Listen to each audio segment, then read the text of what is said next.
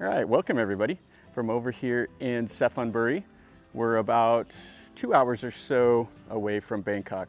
Anyway, I'm over here exploring today and I wanted to come by and I wanted to see some of these murals. That's uh, supposedly some Chinese Lao mix and the temple name, I'm sorry I'm gonna butcher this terribly, but it's uh, Wat Nor Bud Hang Kun or something like that.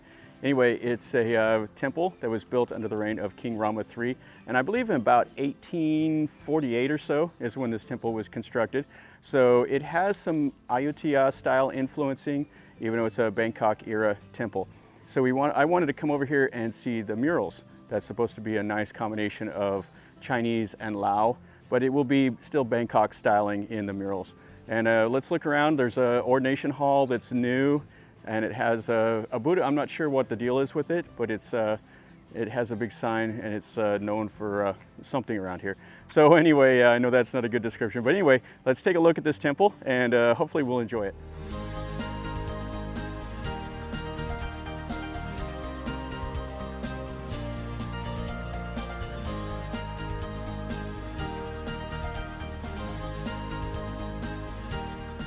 So back over here in the corner, this is the building I wanted to see right here.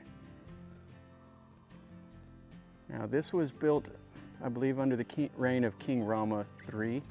I don't know if it was an existing building before, but uh, you can see it's built in the Ayutthaya style. It's bowed in the middle like a boat. It has the little porch in the, the front. It's not the sloping porch, but it is uh, kind of the, the square porch with the high, the high top and you can see how it's constructed with the, the bricks and then they put the molding, the plaster over the top of it. And then uh, up at the top, they always decorate the top of the beams up there. But take a look at this. This is really nice. Now you can't use a flash in here. So uh, don't touch the murals and uh, no flash. So you can see how they've decorated this. Now this reminds me here where you see this which uh, it kind of reminds me of like the tree of life that the uh, like the Navajo use and some of the other tribes in the States. You can see some just faint outlines. I mean, you can see right here, there's just a little faint outline. And then they have some more all around and then like another one over here. So those would have been touched up from what was there before. And then you can see they have the, the little tiles and stuff in the plaster. Now inside of here, now I believe this is from the reign of King Rama III. So 1848-ish or so is when these were, uh, these were constructed.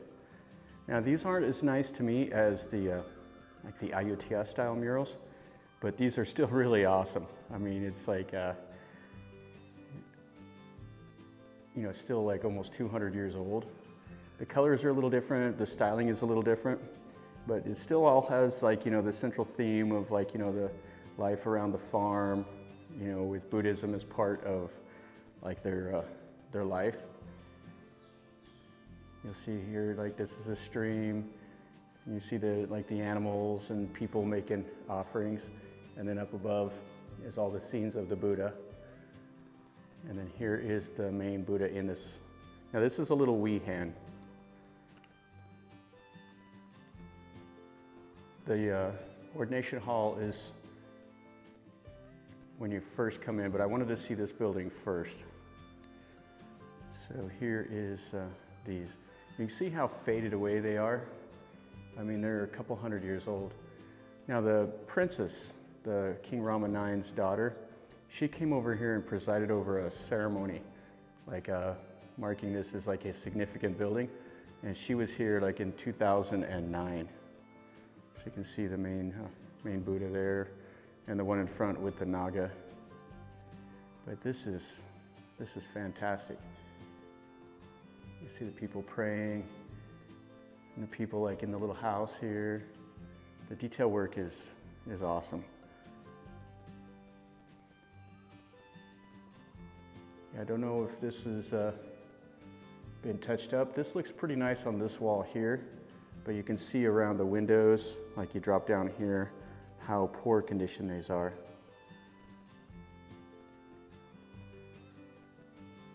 And this wall is a little bowed on this side. It's kind of wavy. And then take a look at the ceiling, how they've painted the flowers and stuff on there. And they're quite faded up there. And the, and the roof beams. Yeah, this is so fun. I like this. Now here on the back wall, it has kind of some themes of like the Ayutthaya, Ayutthaya style with like the little jagged arrow that goes between the scenes. But that is, uh, that is really nice. And then over here is another scene. A lot of times you'll see this as like the goddess of the earth with the Buddha in the middle. They don't have that theme on this one. And they even painted the back of these window shutters. So you can see here. Yeah, this is nice. Yeah, this is why I came to see this little temple right here.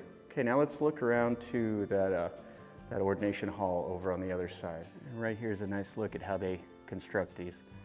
So you can see the brick core, and then they put that plaster that's about an inch thick or so, and then they paint over the top of it. And some of them, the newer ones, they've uh, stopped doing the brick. They'll just do it like as a concrete like form, and then they'll uh, just paint over the top of it. And a couple little chedis around here with the low wall around this little wihan. Yeah, this building here is, is great. Now I really like this kind of stuff where you're out just exploring and you come across stuff like this. Now what they're saying at the front of the temple is that this is a mix of Lao and Chinese style mural. And I'm, I'm not exactly sure what the, uh, the Lao part of it is.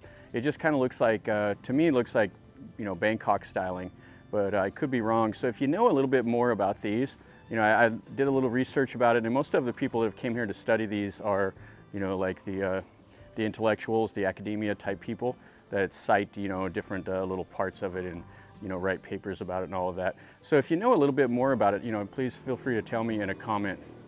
Over here they have this little shrine. So they have one of the, like the famous monks.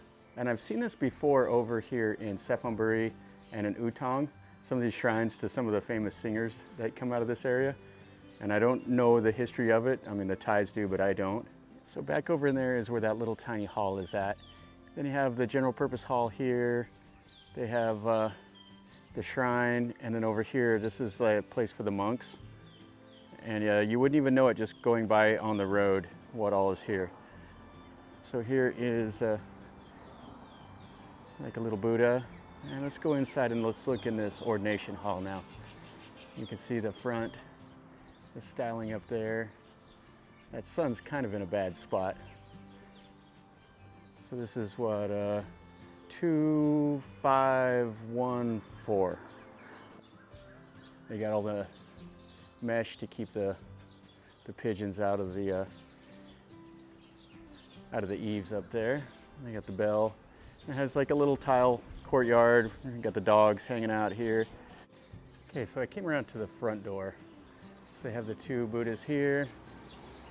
They have uh, the entranceway and then here are some of the, like the marker stones. Here's the one right here by the front door. And then it has the, uh, the high threshold to get in. And then you can see this is the main Buddha in here. And then they have uh, like the little 3D images of the Buddha in all the walls with the same, uh, the same roof or the same ceiling. And then you can see the black lacquer window shutters. When they're when they're closed, they have the red here that you see from the inside. And then this is the door. They put a piece of plexiglass over it to kind of keep it intact. Yeah, other than uh, the 3D murals, this hall is kind of, you know, just uh, a normal building you see selling the amulets and stuff like that over here. And then this is the main Buddha. I'm not sure the age of this one. I mean, this is a fairly recent hall, and they have all the Buddha statues around it. People make donations too with the little coins. And then here is the main image. And they have one of those like uh, little mythical birds here. It says something on the bottom of it, but I don't know what it says. And this looks like they made this out of like a like wire almost. It's a little different look. And then here's the old Buddha over here that people are praying to. It's a quite a bit different pose. I'm not sure what that pose is. All right, so this is the outside of this building. This is kind of what you first see when you come in. So the uh, ordination hall is here. Then you see like the bell tower, all that stuff. And that first little building we looked at is hidden kind of way off over in there. They have a sign here talking about that Buddha that's got kind of that, made out of that wire. I'm not sure what that says, that's all in Thai. Yeah, this is a nice little hall. All right, guys, that's gonna finish a pretty quick little video over here at Wat Nor Bud Hang Korn, or however you say it, over here in Suphanburi. This is a nice little temple. The murals is why I stopped over here to see. They uh, have that Thai Chinese uh, Lao style, and it's uh, all goes back to King Rama III.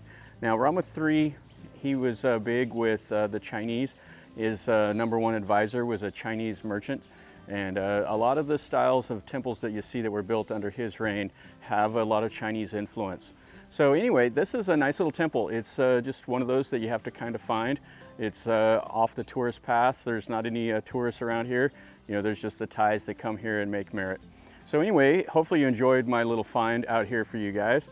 If you did, make sure you click like and uh, subscribe to my channel if you're new here. This is what I do. I show you things that I see and uh, tell you a little bit about what I know of these things out here. So if you like this kind of content, subscribe, stick around, and you're notified when I post something new. Uh, definitely smash the like button and leave me a comment. Tell me what you think. If, uh, if you like the temple or if you want me to do something different, let me know also. So from over here in Suphanburi, remember guys, life is a journey. Until next time, enjoy.